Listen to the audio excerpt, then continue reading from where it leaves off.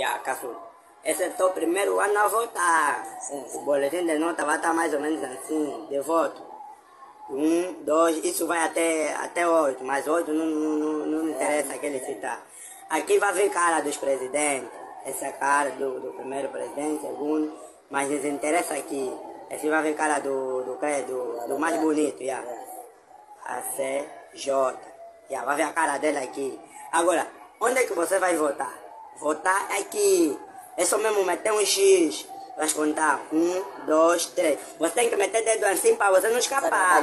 Ok. Um, dois, três. Você pega aqui no três, tapa já aqui, assim. Segue a linha e a aqui direito e vai meter um X.